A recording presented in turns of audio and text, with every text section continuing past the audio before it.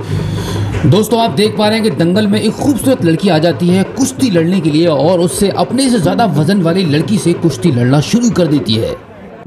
इस लड़की को दंगल में देखकर दंगल के जितने भी दर्शक होते हैं, वो दंग रह जाते हैं और चाहते हैं कि इस लड़की की कुश्ती दिन भर होती रहे। दंगल शुरू होने के बाद अचानक से ये लड़की आ जाती है। ये लड़की दिल्ली की रहने वाली है और यहाँ पर दंगल लड़ने के लिए आई है और दंगल के फाइनल में ये लड़की जीत जाती है। और जीतने के बाद पब्लिक में हाहाकार मच जाती है क्योंकि बार बार पब्लिक इस लड़की का दंगल देखना चाहती है।